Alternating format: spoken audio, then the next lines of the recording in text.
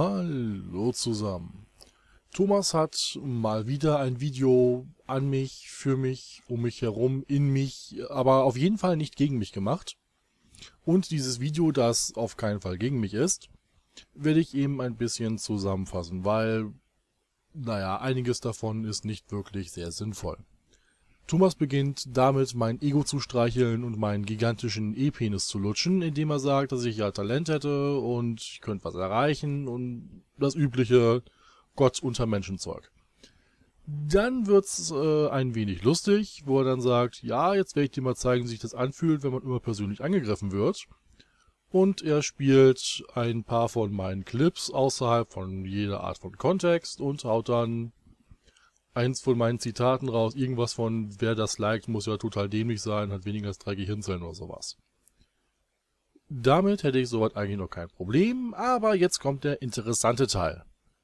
Also, auf zu Thomas. Ja, ich habe drei Videos über dich gemacht. Ich gebe es ganz offen zu. Und für dich war das mit Sicherheit nicht angenehm. Aber du hast auch reichlich Videos über mich gemacht über mich als Person. Du hast es nur mit dem, mit dem Thema sozusagen vermischt, aber letzten Endes war das eine Propaganda gegen mich als Person. Weil du erstens mal meinen Namen verwendet hast, Teile meiner Videos in drin verwendet hast, um mich dementsprechend auch so darzustellen. Und da liegt dein großer Denkfehler, Thomas. Du siehst es wie folgt. Es gibt mich und es gibt dich. Das heißt, jede Aussage, die ich über eins deiner Videos mache, ist automatisch eine Aussage gegen dich als Person. Wenn ich es so sehe. Es gibt mich, es gibt dich und es gibt deine Aussage. Ich greife deine Aussage an. Wenn ich ein Video über deine Aussagen über Homosexualität mache oder über den Kreationismus, den du vertrittst oder über was auch immer du sagst, bist du während der Aufnahme dieses Videos für mich nur eine leere Hülle, die diese Aussage projiziert. Du bist, so böse es klingt, austauschbar. Es ist egal, ob jetzt du, der Papst, Harun Yahya, Pierre Vogel oder was weiß ich wer diese Aussage macht. Wenn ich sage, dass du ein Arschloch bist, dann, weil es die Aussage eines Arschlochs ist, über die ich rede. Wenn ich sage, du bist ein feiger Heuchler, dann weil die Methoden, die du benutzt, die Methoden eines feigen Heuchlers sind. Über dich als Person weiß ich nichts. Wie soll ich über dich irgendetwas aussagen können? Ich beziehe mich in jedem meiner Videos ausschließlich auf die Aussagen, die du getroffen hast, auf die Methoden, die du benutzt hast.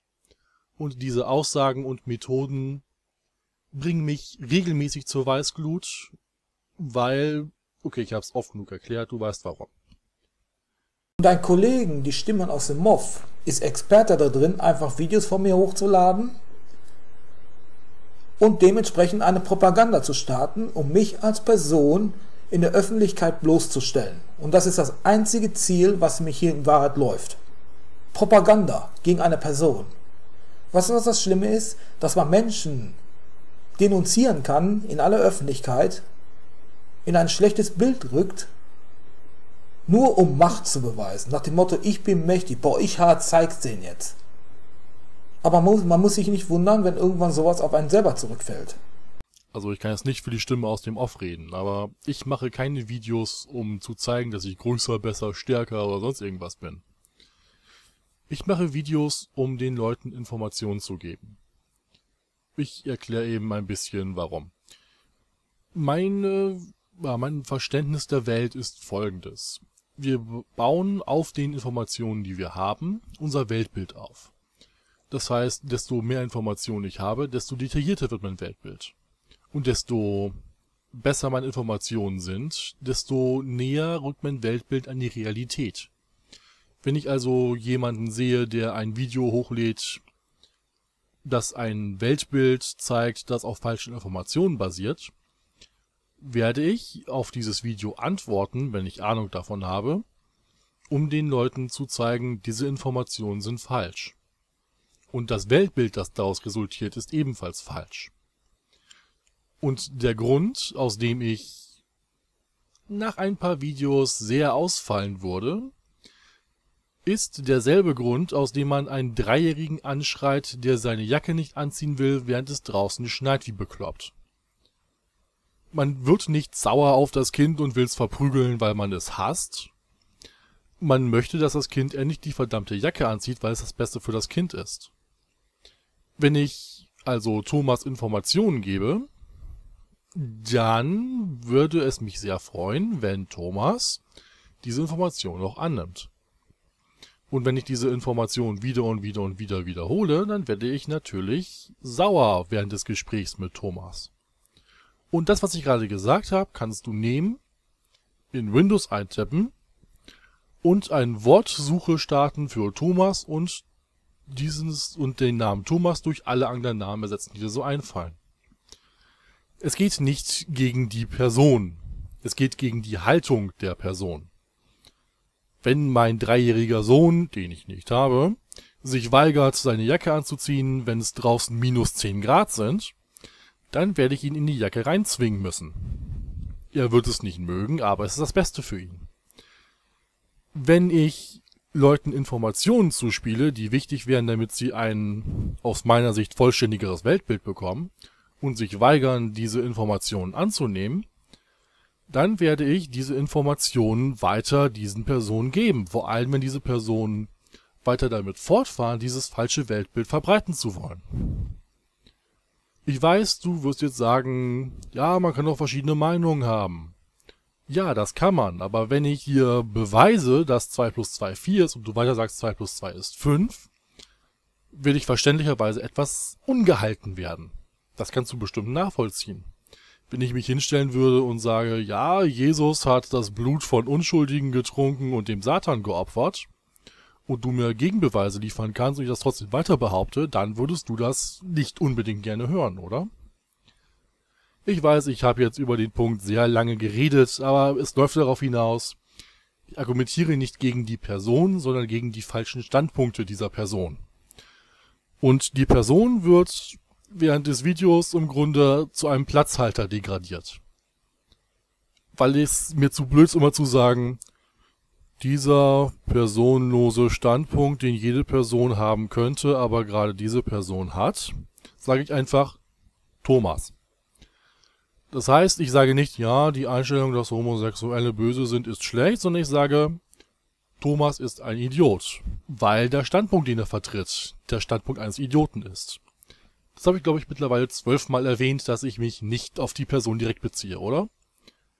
Okay, ich wiederhole mich schon wieder, also machen wir mit Thomas ihm seinen Ausschnitte weiter.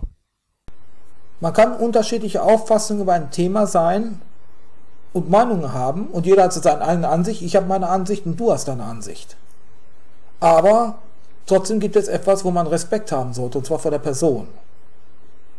Und wer in seinen Videos äh, die Person einen beleidigt und einen Pranger stellt, dann muss sich nicht wundern, wenn an sowas auf einen selber zurückfällt. Man behauptet immer, ich wäre menschenverachtend, nur weil ich gegen Homosexualität bin. Aber das stimmt nicht. Ich werde jetzt mal was einblenden, ein älteres Video, wo ich etwas ganz anderes gesagt habe. Und ich bitte auch, dass du mal genau zuhörst. Und ich werde jetzt mal was sagen, was den Leuten verblüffen wird. Wenn ich gegen Homosexualität bin, was ich heute immer noch bin, dann habe ich nicht diesen Menschen diskriminiert. Das ist der größte Quatsch und eine Propaganda der Homo-Lobby, die einfach so nicht stimmt.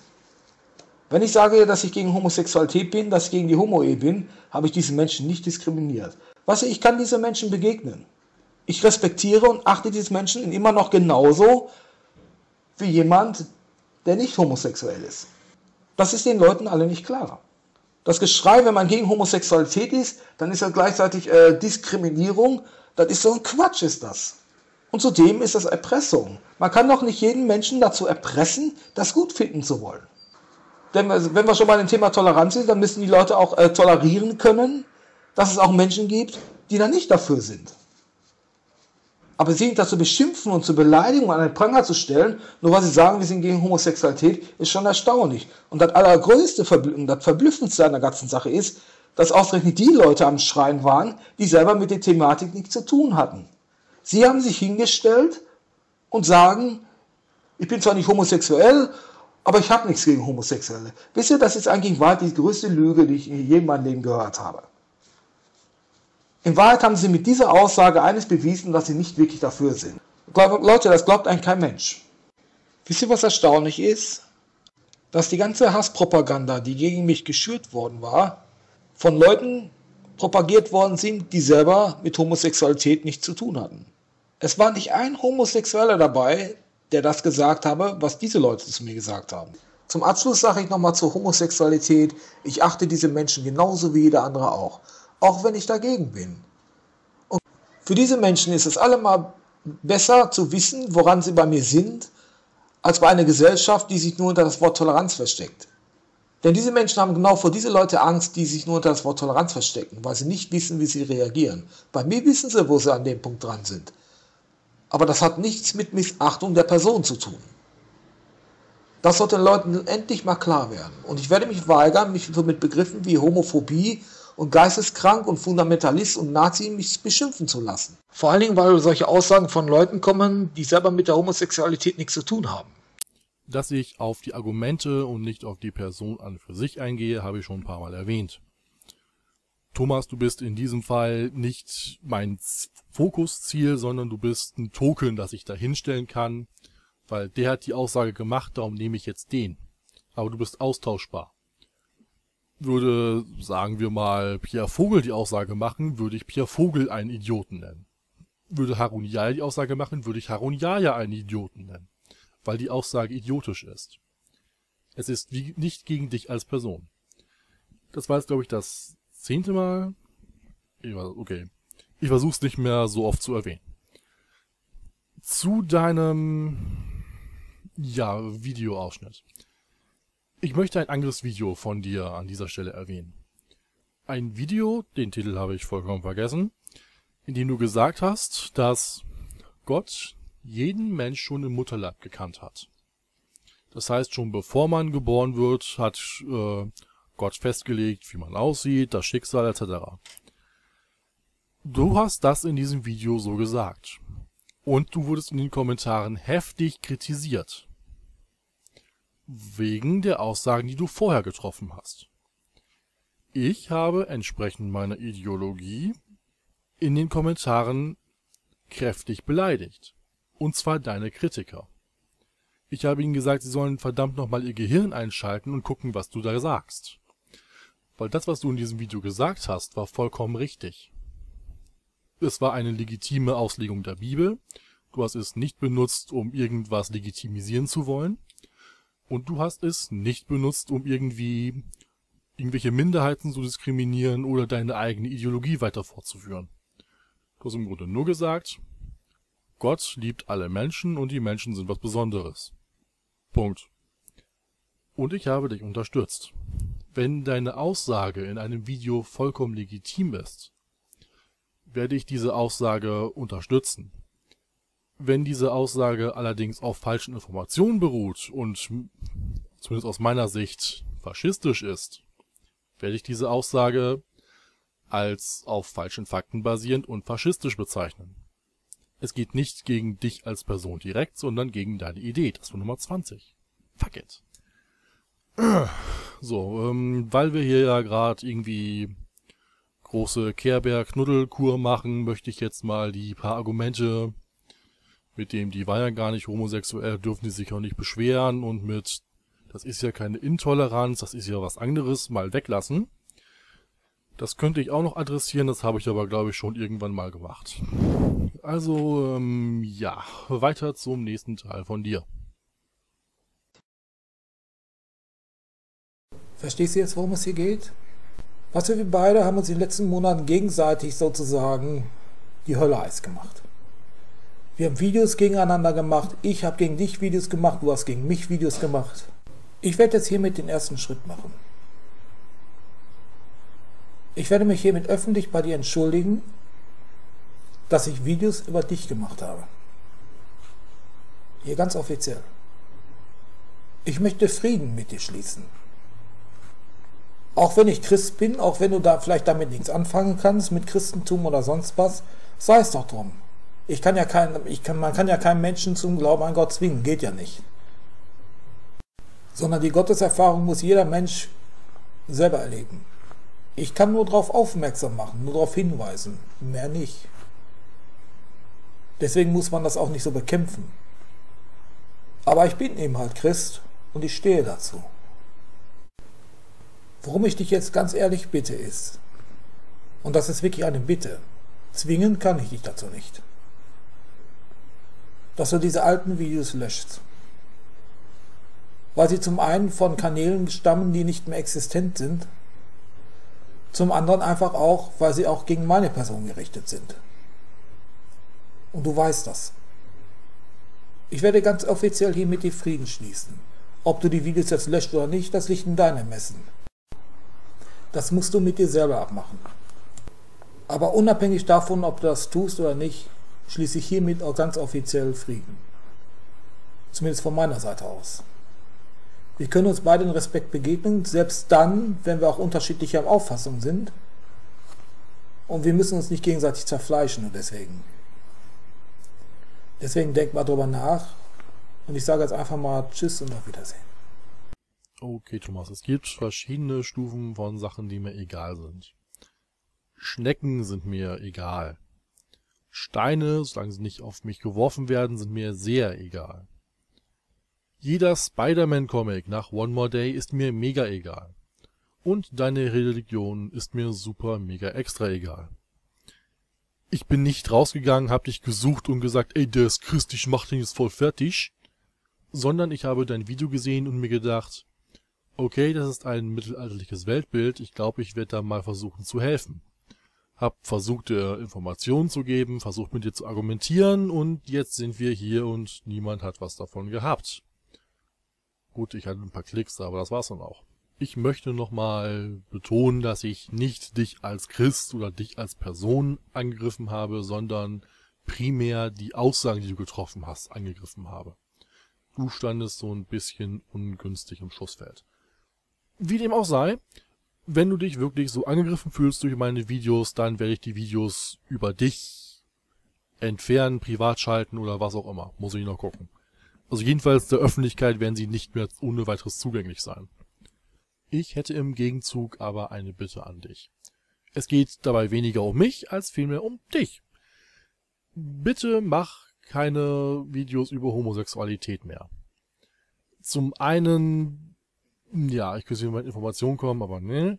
Und zum anderen, die Leute reagieren darauf sehr emotional und sehr ungehalten. Wenn du weiterhin auf YouTube als Christ aktiv sein möchtest, dann mach weiter solche Videos wie dieses äh, Gott kennt jedes Kind schon im Mutterleib Video. Ich kenne die Textstellen nicht mal, sorry.